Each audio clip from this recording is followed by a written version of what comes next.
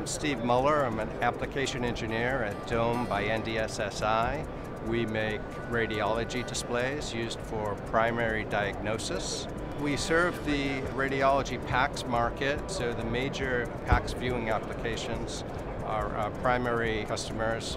The end users, primary diagnosis radiologists are the primary end user customers.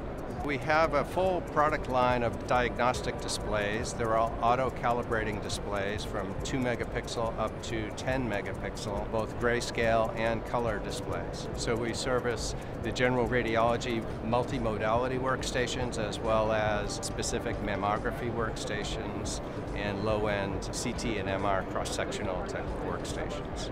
We try to provide the, the highest quality solution to our customers and we've partnered with NVIDIA for quite some time now.